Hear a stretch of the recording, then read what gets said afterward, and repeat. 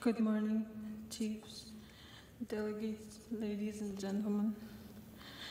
My name is Rinelle Harper, and I am from Garden Hill First Nation. I am a high school student from Southeast Collegiate. I'm here to talk about an end to violence against young women.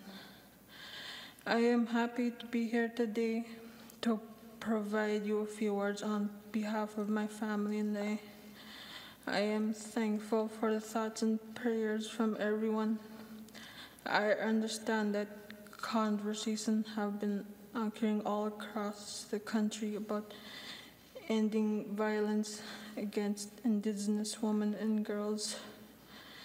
But I was to continue on with my life, and I am thankful that I will be able to go back to school to see my friends and be with my family.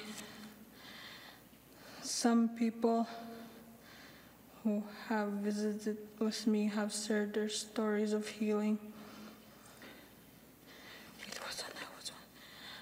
I ask that everyone here remembers a few simple words love, kindness, respect, and forgiveness.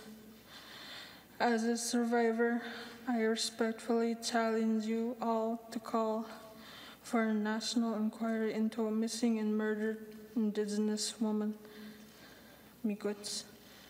Thank you.